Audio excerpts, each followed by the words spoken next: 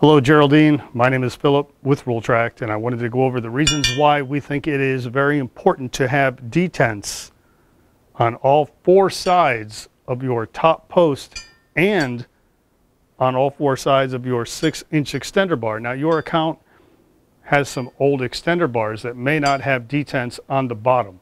So that's something we want to look at.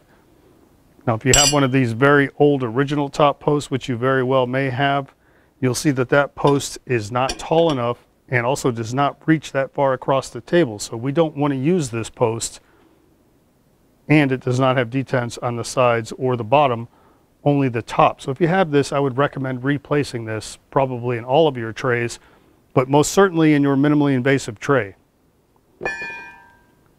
Now you may have a post that's not quite that old and you'll see it does have detents on the sides and the top, However, it doesn't have detents on the bottom. And the reason that that's important is that the surgeons can attach either one of these extender bars to the top, any of the sides, or the bottom. Now, most of the time, actually for the minimally invasive procedure, I see them attaching this six inch extender bar to the top post with the tightening knob on the bottom. So if you do that, you certainly need to have detents on the bottom. The other thing is they use the rotating extender bar, which your surgeon is asking for. And in most cases, that's going to attach to either one of the sides of the extender bar.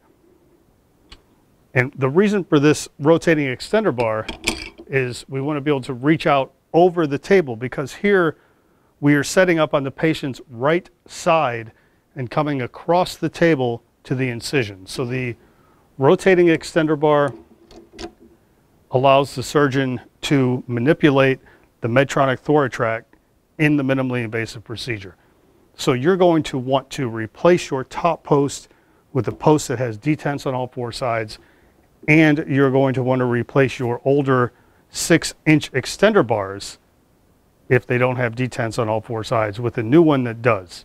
And then of course you'll want to add the rotating extender bar. So those are the pieces that you'll need in addition to the ratchet assembly that we discussed. If you have any questions, please call or email me. Thank you for your time.